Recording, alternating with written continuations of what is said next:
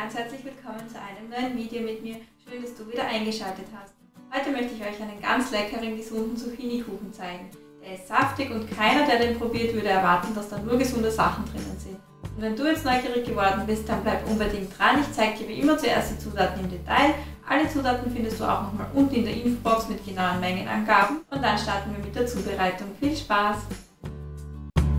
Wir brauchen Zucchini, Zitrone, ein Ei, Kokosblütenzucker, Erythrit, gemahlene Mandeln und Kokosöl. Außerdem brauchen wir noch Vollkornmehl, ein bisschen gemahlene Vanille, Zimt und Backpulver. Wir beginnen damit, dass wir die halbe Zucchini reiben. Ich nehme dafür die feine Seite von der Reibe.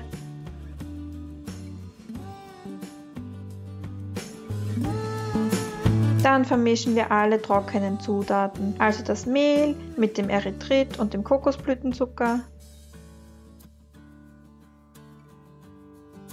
Dann den Mandeln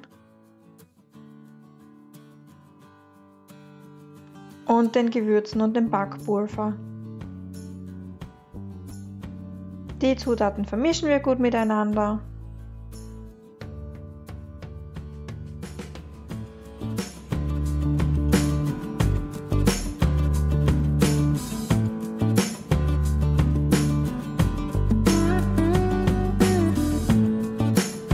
Dazu kommt ein bisschen Zitronensaft und das ganze Ei.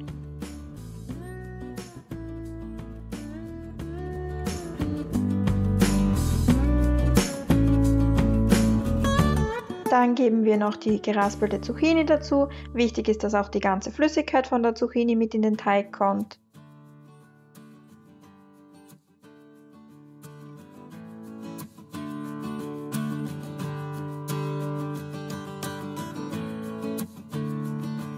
Sobald alles gut durchgerührt ist, fehlt nur noch das Kokosöl. Das habe ich inzwischen geschmolzen und das gebe ich jetzt einfach zum Teig dazu und rühre das Ganze nochmal gut um.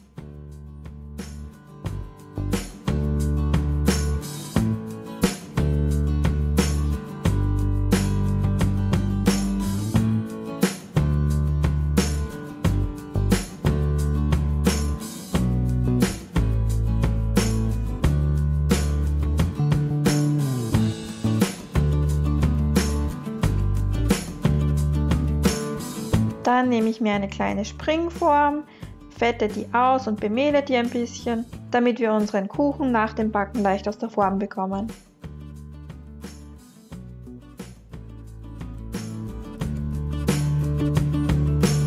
Und dann können wir auch schon den Teig einfüllen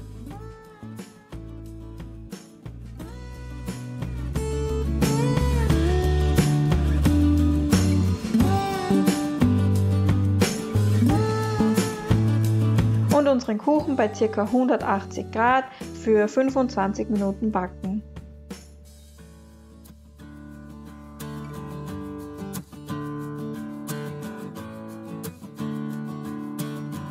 Aber am besten ihr macht dann nochmal die Stäbchenprobe nach 25 Minuten und schaut, ob er auch wirklich durch ist.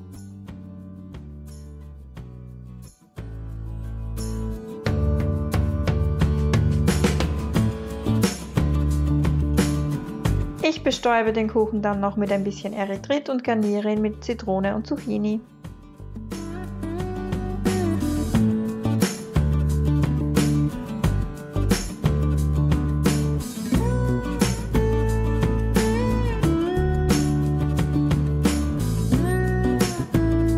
Und schon ist unser leckerer Kuchen fertig. Ein kleiner Tipp noch, mir schmeckt der Kuchen am besten, wenn ich ihn am Vortag schon vorbereitet habe, weil ich finde, wenn er einen Tag bzw. eine Nacht durchziehen kann, dann wird er erst so richtig saftig und lecker. Ich hoffe, dass dir das Rezept und das Video gefallen haben. Wenn so ist, dann lass mir sehr gerne einen Daumen nach oben da, das würde mich sehr freuen. Und falls du noch kein Abonnent meines Kanals bist, dann hol das sehr gerne einmal unten nach. Aktiviere gerne die Glocke, damit du immer benachrichtigt wirst, wenn ich ein neues Video hochlade und ich hoffe, wir sehen uns nächsten Sonntag wieder. Bis dahin wünsche ich dir eine schöne Woche. Tschüss!